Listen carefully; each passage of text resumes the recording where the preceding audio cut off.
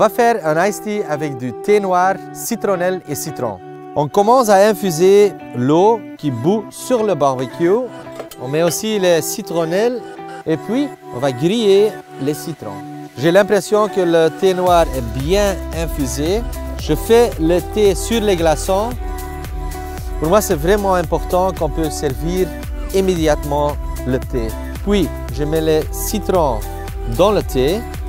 Voilà, je casse un peu le pot du citronnelle et comme ça, on a plein d'arômes. Je vous présente un Ice Tea Barbecue.